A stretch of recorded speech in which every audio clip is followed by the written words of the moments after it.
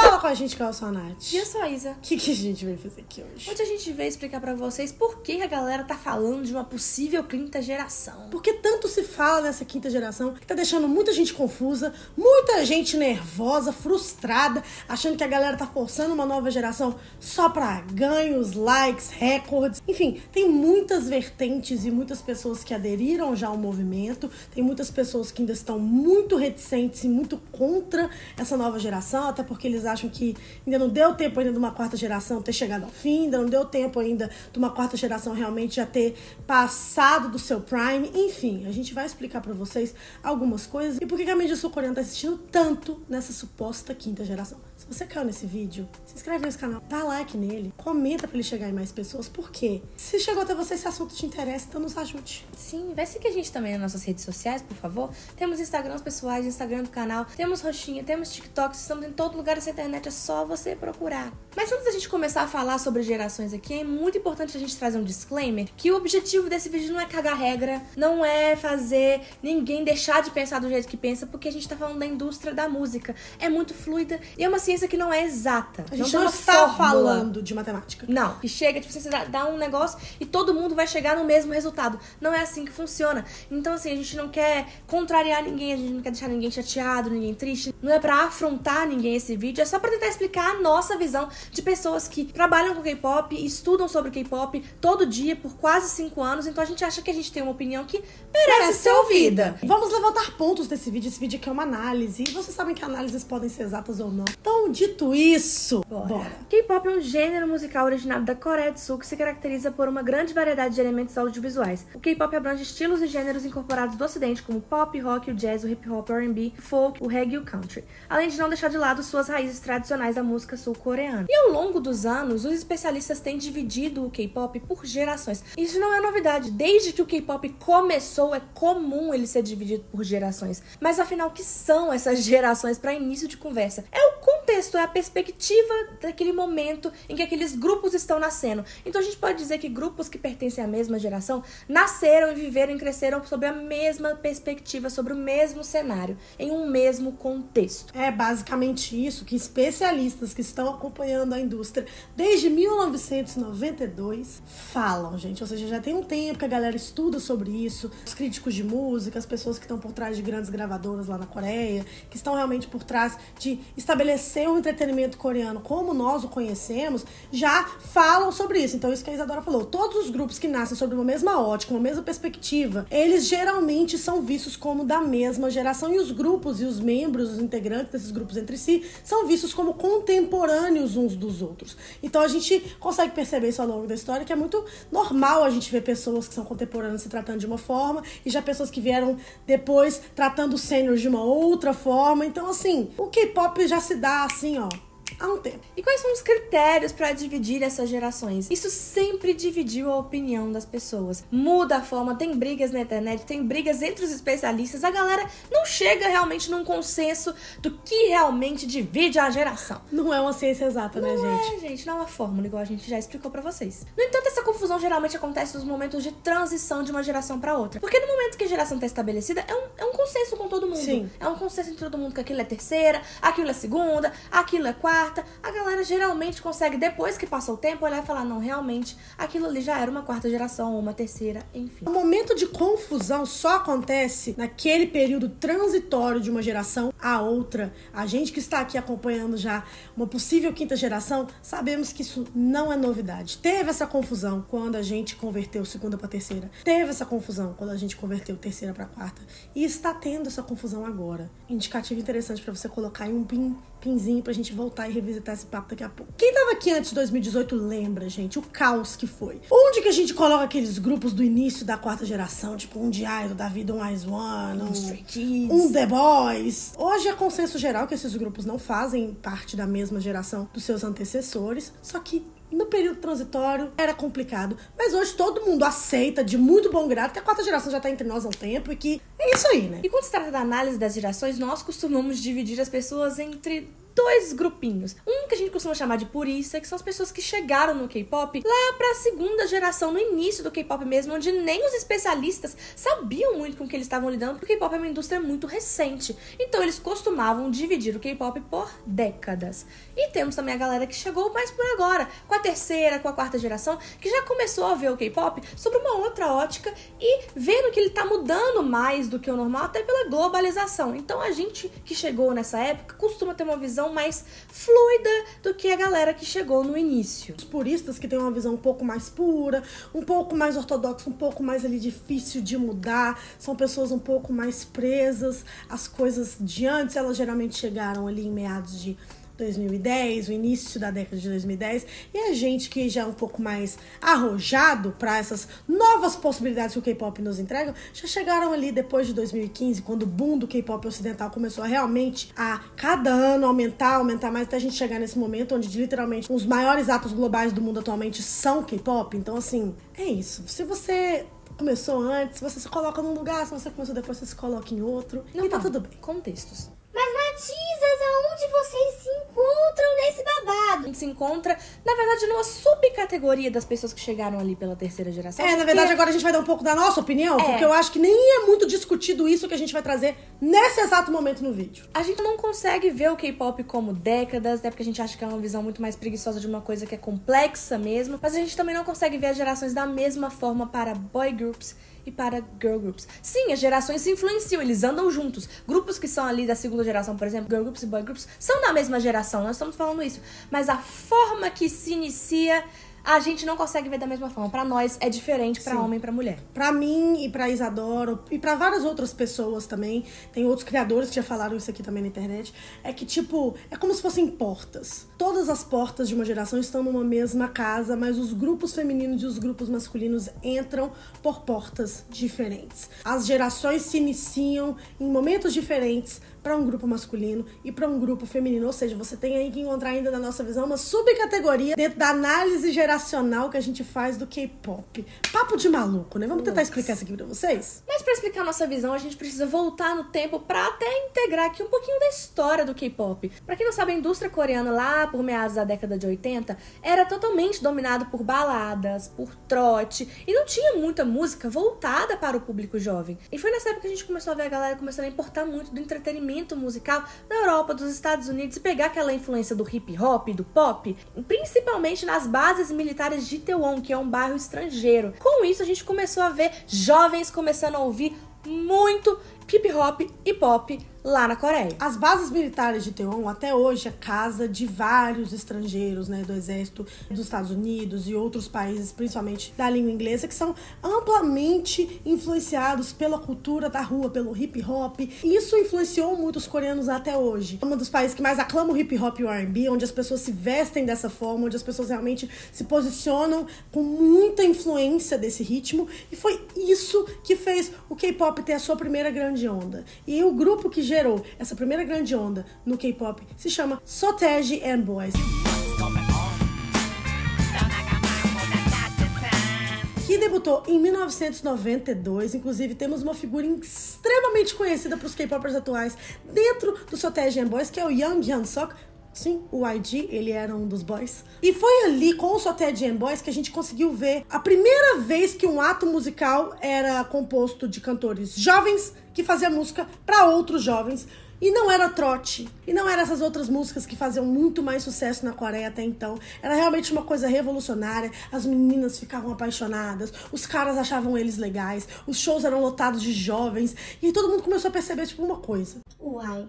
Então quer dizer que tem aqui uma demografia que tava precisando de ser acolhida de alguma forma. E onde a gente percebe que tem ali uma fonte de sucesso, o capitalismo logo vai em seguida trilhar o seu caminho para fazer mais do mesmo.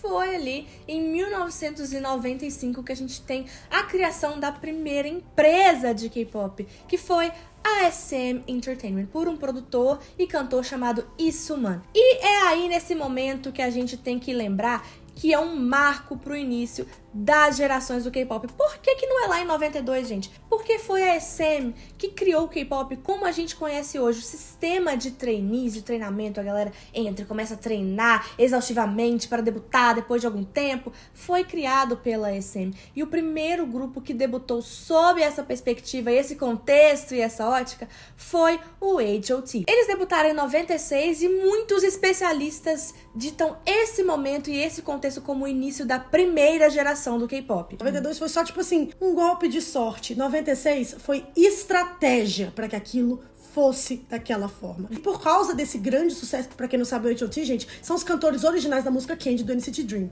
Ou seja, são pessoas que são muito relevantes para a indústria.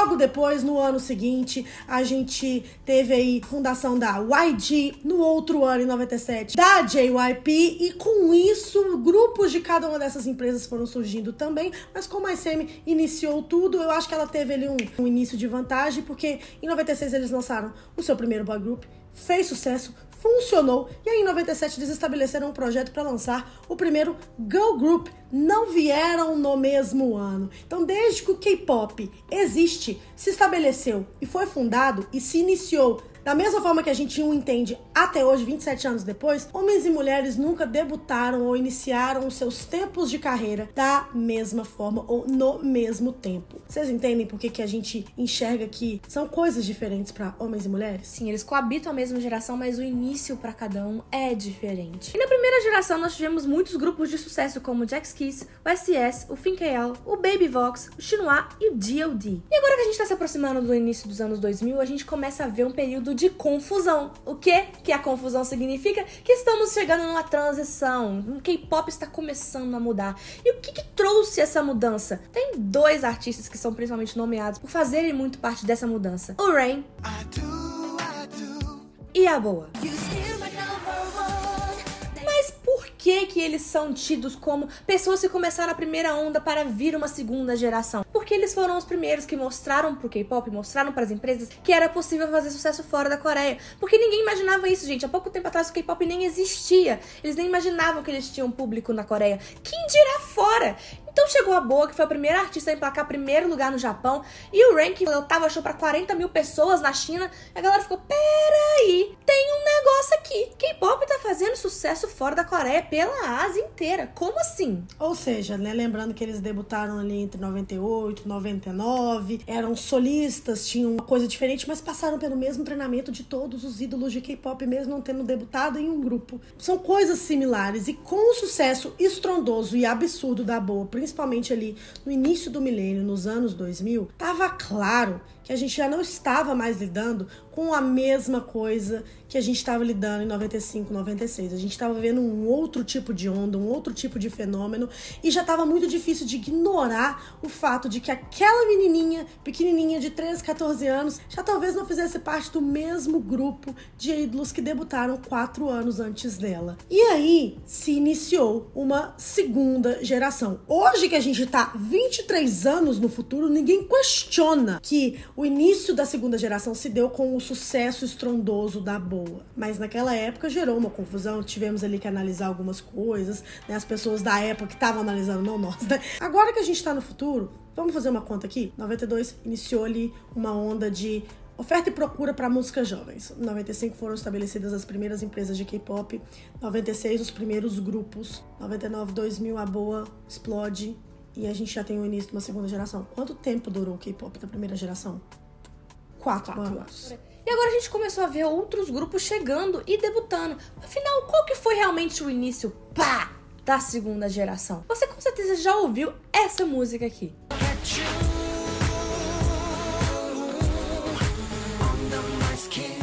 Esse grupo chama TVXQ. E foi naquele momento, naquele debut, que todo mundo olhou e falou: cara, esse grupo aqui não faz parte do mesmo contexto que o HOT, que o Jax Kiss. Ele debutou já sabendo que poderia fazer muito sucesso fora da Coreia e adivinhem, Fizeram, fez né? muito sucesso. Entraram, inclusive, no Guinness Book numa época como o grupo que tem o maior fandom do mundo. Sim, gente, esses meninos já lotaram os maiores estádios da Ásia múltiplas vezes. Um marco também pra gente ter certeza que aquela geração ele tá se consolidando e ela já aconteceu, deixando uma outra geração para trás, não em termos de sucesso, mas agora a gente tem uma outra vigência de gerações. É isso, de saber que, tipo assim, aquilo que foi testado no passado vai dar certo agora. Então, tipo assim, a gente já tá em cima das costas de gigantes, né? Tipo, os meninos, quando estabeleceram o K-pop, já sabia que através do Sotea Jam Boys que dava tudo certo para eles lançarem músicas para jovens. E depois do sucesso da Boa, todo mundo que veio depois disso já sabe que dava para fazer sucesso internacionalmente também.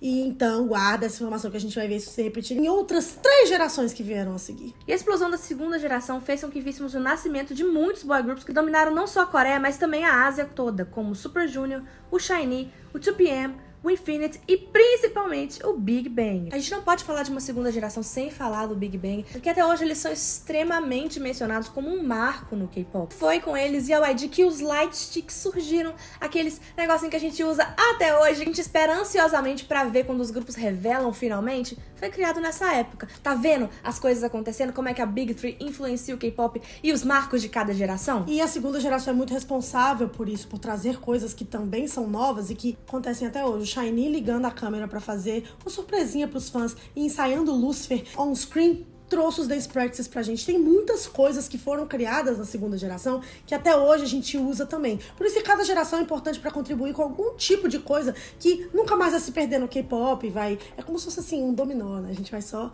pegando mais e mais pecinhas. E é muito interessante. Só que perceba uma coisa, falamos da Bo, mencionamos o Rain, mencionamos uma onda que trouxe uma segunda geração, mencionamos diversos boy groups que debutaram ali entre 2013 a 2010, 2011. Mas nenhum girl group até agora, porque os primeiros girl groups vieram só em 2007. A geração para girl groups começou muito depois do que para os boy groups dentro da segunda geração. E os primeiros girl groups que a gente realmente pode citar como as primeiras filhas da segunda geração do K-pop é o Wonder Girls. E o Sony grupos da JYP e da SM. E para quem não sabe, gente, o Wonder Girls foi o primeiro grupo gigantesco, assim, de mulheres do K-pop na segunda geração. Foram os primeiros grandes virais. Elas tiveram não só um, nem dois, mas três virais no mesmo ano que elas debutaram. Lembrando bastante a trajetória de grupos como IVE e o New Jeans. E elas fizeram um estouro muito grande. Inclusive, elas foram o primeiro grupo de K-pop a realmente promover no Ocidente, quando elas abriram a turnê do Jonas Brothers ao redor dos Estados Unidos e com Nobody, English Version, uma música famosíssima do Wonder Girls, elas foram o primeiro grupo de K-pop a pegar aí lugares no Hot 100 da Billboard, ou seja, poder da Big Three também, né? JYP did it first, a gente consegue ver por que, que a Big Three se chama assim, não é por causa de dinheiro, não é por causa de mais nada, até porque isso já foi ultrapassado atualmente, é por causa de legado, por causa de algumas coisas que só eles fizeram e foram precursores há muitos anos atrás. E nessa geração a gente teve grupos como 21, o Caro, Tierra, o FX, e grupos que causam até hoje muita confusão por terem debutado em 2010 e 2012, como Sister, o A-Pink e o AOA. Porque de acordo com os puristas, a segunda geração terminou em 2010. Então talvez ali um Sister ainda consiga, de acordo com eles, ser parte da segunda geração. Mas o AOA e o A-Pink, por exemplo, que são grupos gigantescos, extremamente referenciados como grupos líderes da segunda geração, tecnicamente, com essa visão de décadas, não poderiam ser parte da terceira geração. Teriam que ser parte da mesma geração do BTS, do Blackpink. Mas não faz sentido na nossa cabeça, porque a gente tem indícios também para mostrar como esses grupos fizeram parte da segunda geração e não da terceira. Principalmente a sonoridade e a contemporaneidade entre pessoas da mesma geração. Sim, isso é extremamente importante de ser analisado, porque você consegue perceber isso em todas as gerações. Vamos dar uma voltada aí no Queendom, que foi aquele reality show que a gente teve vários grupos de várias gerações, a gente teve a Taeyeon apresentando. E qual que foi a reação da galera quando viu a Taeyeon entrando? Galera muito, meu Deus do céu, é a Taeyeon, a ídola da segunda geração e tal. E até, até, porque a line-up era composta majoritariamente de meninas da terceira geração. Mas como em toda a temporada do Queen, a gente também teve uma grande solista participando da line-up, que foi a Hyorin do Sister. E quando a gente teve a entrada da Hyorin, as meninas tiveram a mesma reação que tiveram com a Teo. Meu Deus, o que a Hyorin tá fazendo aqui?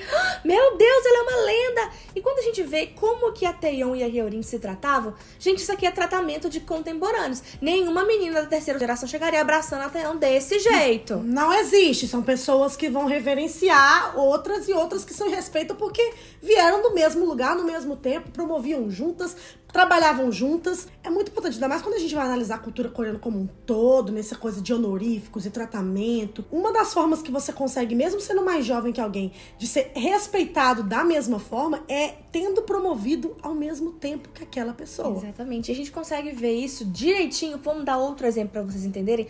No Sutita, que é o programa do Suga do BTS no YouTube. Quando a gente vê ele entrevistando o Taeyang, essa é a reação dele. 너무 떨려요. 저도 떨려요. 아니 왜냐면 너무 이게 팬- 팬이었어가지고. 아, 네. 와 방탄은 사실 거진 선배님들이 만들었다고 해도 과언이 아닐 정도로 그냥 너무 어릴 적부터 꿈꿔왔던 뮤지션. 아, 너무 독보적이었었어가지고. Mas quando ele tá com um contemporâneo de indústria, o Uzi do Seventeen, por exemplo, é assim o tratamento. 게임이 음악 만드는 것보다 재미가 없으니까 나는 비슷한 바람 큰일 났다 진짜 어떡하냐 저거 주저하면 쓰러질 수도 있어. Mas quando lá estão presentes meninos da quarta geração do Chekchi, essa é a forma que ele é tratado. 형들한테 자랑스러운 후배가 되고 싶었어요. 형이랑 또 여섯 명 형들한테 정말 자랑스러운 후배가 되고 싶어요. Vocês estão vendo claramente, vocês conseguem perceber claramente a diferença? Quando ele vê o Taeyang, ele dedica tudo que o BTS fez a eles. Quando ele vê o Uzi, eles se tratam como brothers. E quando o Chekchi vê o Suga, eles o tratam assim como o Taeyang foi tratado pelo Yoongi. É muito claro quando a gente coloca isso tudo em contexto pra gente ver onde estão as pessoas de cada geração. Tem vídeos das meninas do A-Pink, do Sister do AOA se tratando de uma certa forma, mas quando a gente vai ver as meninas, sei lá, do D-Friend, elas eram reverenciadas por trazerem de novo o conceito que o A-Pink trouxe lá atrás. O conceito doce, schoolgirl, depois faz uma transição perfeita pra uma coisa mais madura. Você vai dizer pra mim que o A-Pink não influenciou o D-Friend, portanto elas são da mesma geração? Isso não existe. E à medida que a gente vai caminhando nessa transição, chegamos em 2012. Sim, em 2012 estávamos tendo aí o debut do AOA, que é considerado segunda geração, mas também estávamos tendo o debut de um grupo que iniciaria a terceira geração para boy groups, que foi o EXO.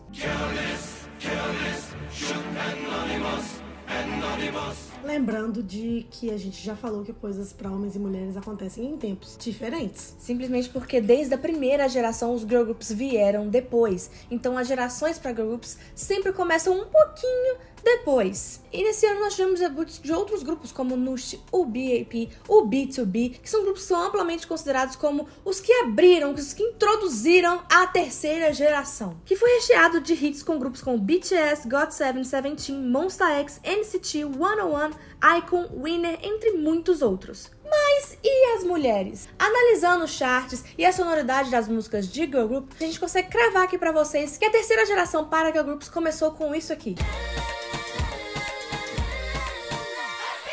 Red Velvet em 2014. Dá pra ver claramente que o Red Velvet não se parece em nada com a sonoridade que a gente via ali em cima de um 21, em cima de um Girl Generation, em cima de um FX.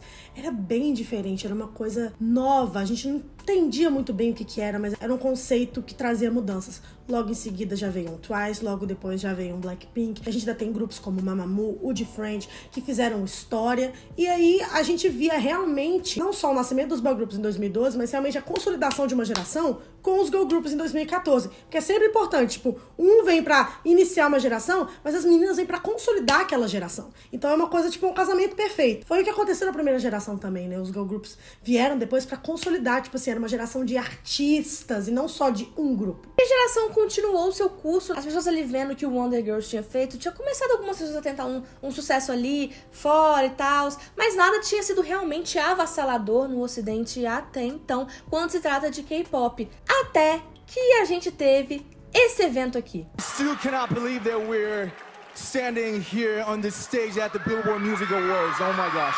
Sim, gente, BBMAs 2017, onde sete coreanos subiram em cima do palco e levaram top social artists de pessoas como Justin Bieber, Ariana Grande e Demi Lovato. Então, assim, as pessoas começaram a olhar pra isso e falar: quem são esses coreanos que tiraram o prêmio desses artistas? Quem é esse povo? Então, o olhar do Ocidente realmente foi impactado e começaram a virar para a Coreia e para o K-pop. Até que isso aconteceu.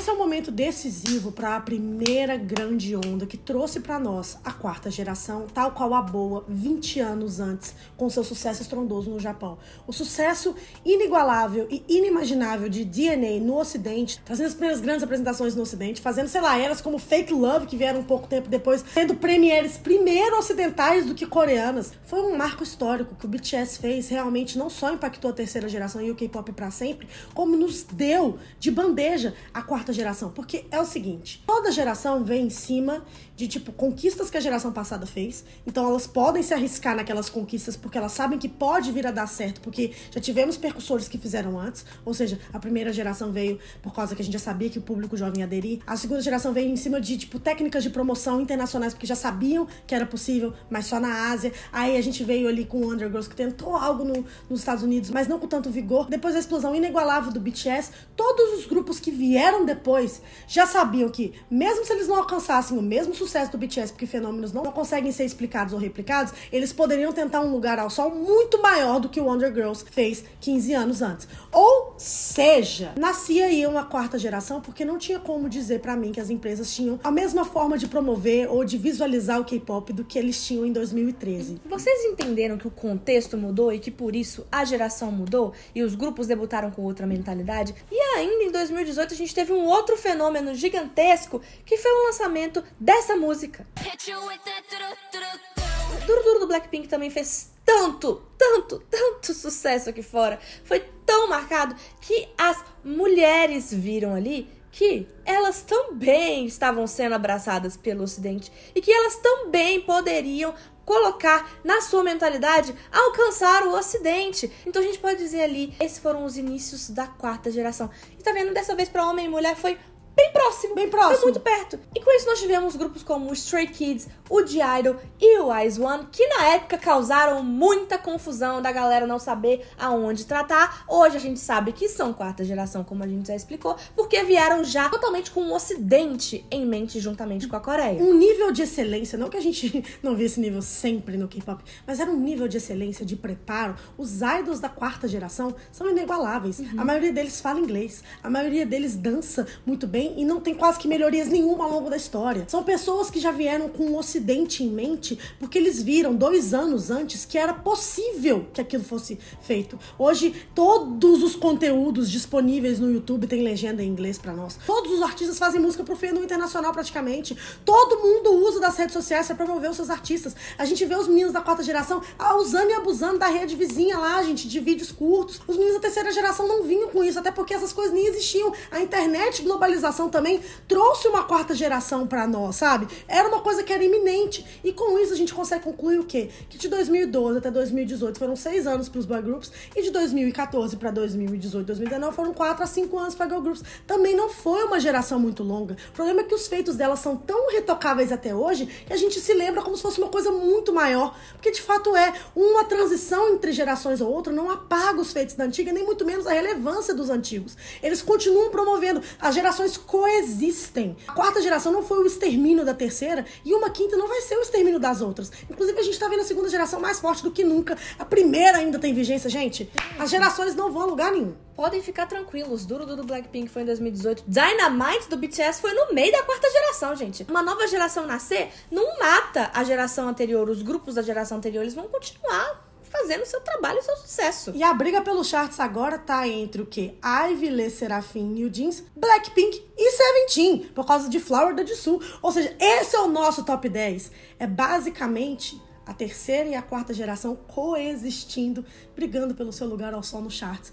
Mas a gente consegue ver hoje que tipo a quarta geração nasceu ali e ninguém briga mais por isso. Na quarta geração tivemos grupos como ITZY, o TXT, o X1, Espa, Stacy, Nmix, Ivy, Le Serafim e New Jeans, grupos que estão dominando o cenário musical nesse momento. Fizemos um vídeo há um pouco tempo atrás, né, para falar um pouco sobre o sucesso do New Jeans. E a gente falou naquele vídeo, se vocês, né, quiserem dar uma conferida, que a gente achava, fomos muito criticadas na época, que a gente achava que o New Jeans estava trazendo uma onda diferente. Tanto que a thumb do vídeo é uma quinta geração está vindo aí. A gente começou a falar antes da galera começar a realmente questionar uma quinta geração, porque a gente começou a ver com o New Jeans um fenômeno parecido com o que a gente viu com BBMAs em 2017. Uma primeira onda que viria para trazer uma série de mudanças que em algum momento culminaria em uma próxima geração. Mas, Natisas, que mudanças são essas que o New Jeans trouxe? A gente já está numa quarta geração onde o Ocidente é extremamente visado, onde eles estão na mente das empresas, onde a gente é muito importante também pro K-pop, mas a gente tá vendo agora outras coisas acontecendo. A gente tá vendo, por exemplo, o sucesso estrondoso e orgânico do New Jeans acontecendo independentemente de grupos da terceira geração. Sucesso estrondoso e gigantesco do 50-50. Gente, hoje existe apenas um grupo de K-pop que tem mais monthly listeners do que o 50-50. Esse grupo é o BTS. Apenas. Apenas. Vocês estão entendendo? Se os grupos que popularizaram o K-pop no Ocidente derem desband amanhã, o K-pop vai continuar forte no Ocidente. Ele vai continuar acontecendo. Quais são outros indícios que a gente consegue ver que uma mudança está vindo aí? Boys Planet!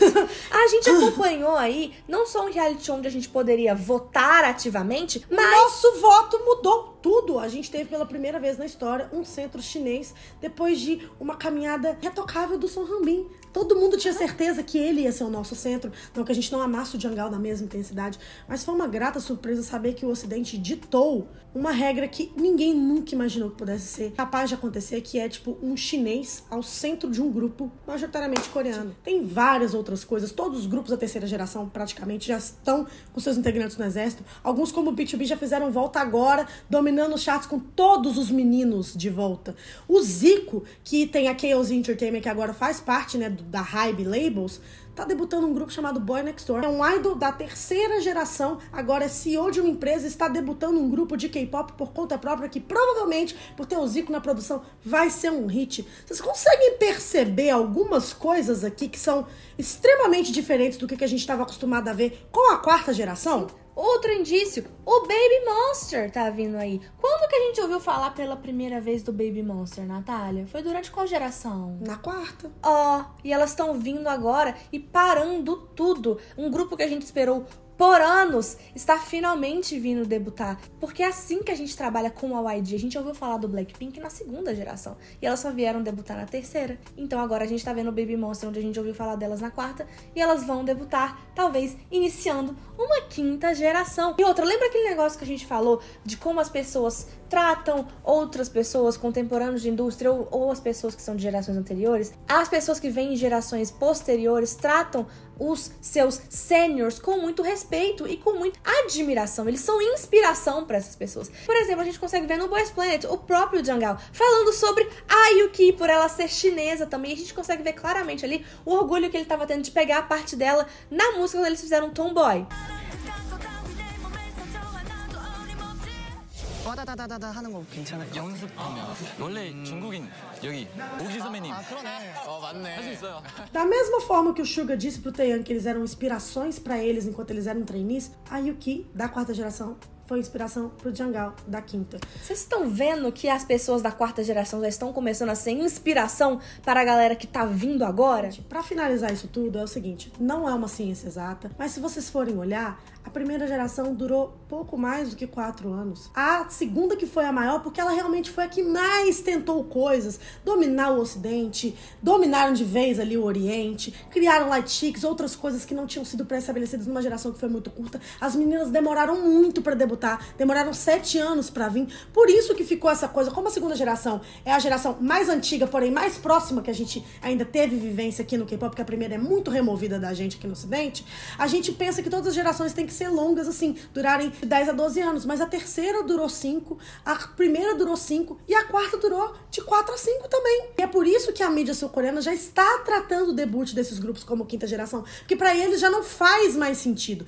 E se pra você eles estão fazendo isso só pra cagar regra, pra cagar recorde, gente, o. K-pop é deles, não é nosso. Sim, a gente é muito importante pro K-pop, a gente fez o K-pop virar um soft power. Mas, sinceramente, se a gente parasse de ouvir o K-pop hoje, ele não ia morrer. ele ia Tipo, continuar. todo ocidental no mundo, nunca mais. Eles iam perder dinheiro? Iam, eles não querem isso. Eles querem que a gente continue porque eles iam perder poder, eles iam perder muita coisa. Mas o K-pop ia morrer? Não, eles iam continuar lá. Eles têm a carreira deles muito bonitas lá na Coreia. As maiores celebridades coreanas a gente nem conhece aqui, eles são riquíssimos, são os apresentadores, são as personalidades da TV. É um país de primeiro mundo, eles não precisam do ocidente pra Ah, mas é porque eu dou view no YouTube. Obrigada por dar 35 centavos pro Kim Namjoon. Mas é porque muito stream no Spotify. Obrigada por dar 25 centavos pro Jonghan. Eu compro álbuns, meu Deus. Obrigada Nossa. por dar 25 centavos pra Lisa do Blackpink. O que dá dinheiro, gente, são as coisas vendidas dentro da Coreia. Se eles estão dizendo que é, quem somos nós pra dizer que não é? Eles disseram que é todas as vezes e sempre foi. Então, Imagina se algum gringo viesse meter bedelho na nossa música. Tipo, se quisessem vir falar, meter o bedelho no nosso sertanejo, ou dar pitaco no nosso funk.